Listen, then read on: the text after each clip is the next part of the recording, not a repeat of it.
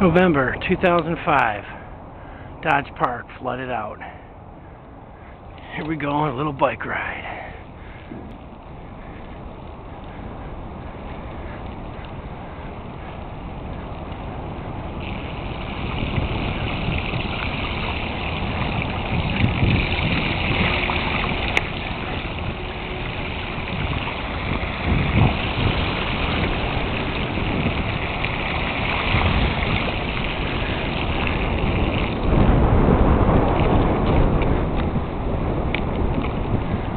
made it.